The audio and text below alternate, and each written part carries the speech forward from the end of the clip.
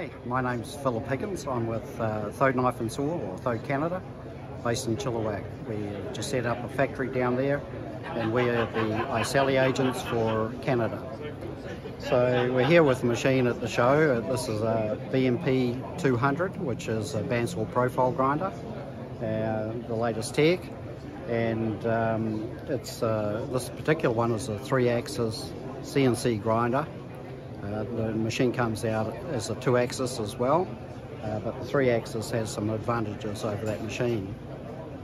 This machine has uh, got a wheel dresser on it if you were using a uh, vitrified wheel, so you can dress those, but the CBN wheel runs without any dressing at all. So, you know, they may last for a number of years, as they do in a lot of cases. Uh, we know of some that have been running for six years without being changed, and the shape remains fine. They don't need profiling, and they just keep cutting cleanly. They're really good. So that's the wheel that is supplied by Iseli as well for these machines. Really, it's the simplicity of it. Um, with the machine, all the working parts uh, in the front of the machine is uh, limited so just what has to be there is there, and uh, yeah, it just doesn't wear out and uh, from grinding particles getting in there. It is protected from that. Very easy to clean, clean and uh, all the working parts are in the back of the machine.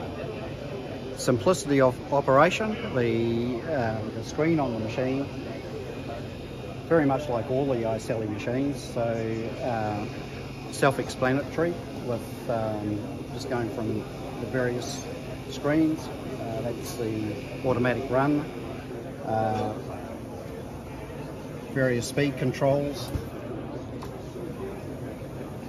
The, the various teeth designs that are in there already. You can have up to 9,000 and then it has a, um, a sonic sensing system on there, so the machine will set itself to the tooth.